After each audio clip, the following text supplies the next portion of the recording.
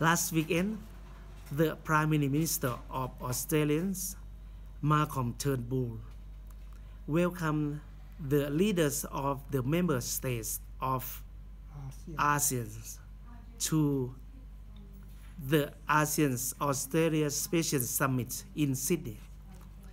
To our great disappointment of myself and other members of the Thai communities in Australia.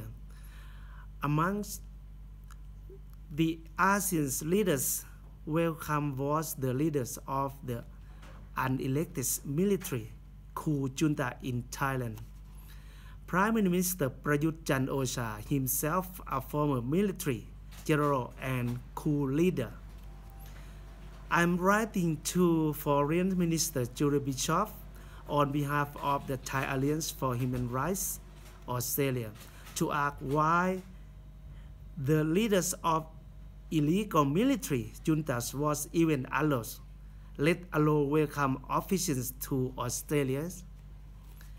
After members of our organizations met with Julia Bishop office in Perth on July 2014, she wrote to us and give us this promise that Australia would, the first, lower the level of Australia's interactions with the Thai leadership.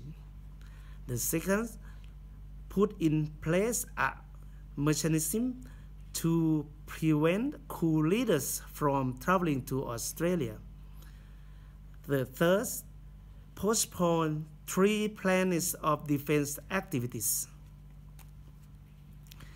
The Thai Alliance for Human Rights Australia asked the Australian government when this approach to the military junta in Thailand was changed by the government and what were the reasons for this change.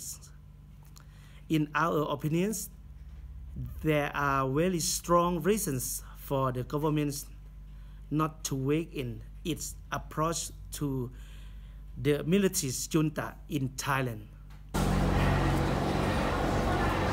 But you get out!